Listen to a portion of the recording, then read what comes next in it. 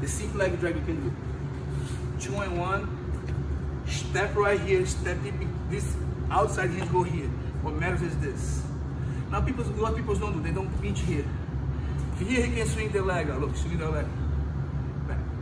Swing the leg. Then I go one, two, three. Yes? That's the simple way guys can, people can find their balance. Now you have to train people with this, look. Don't, don't need. Two and one. No, no, don't do that. Two, two, two and one. Squeeze. Now bring two leg. Now, two and one. Now press this down. Push my knee here.